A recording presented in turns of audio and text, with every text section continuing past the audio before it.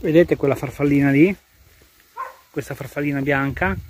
Ecco questa sta cercando i cavoli che sono qui perché vi depositerà le uova da cui nascerà la cavolaia. E la cavolaia se non si debella subito praticamente sono peggio delle cavallette. Sono bruchi che distruggono tutto nell'arco di pochi giorni. Ve lo dico per esperienza perché sono veramente un flagello.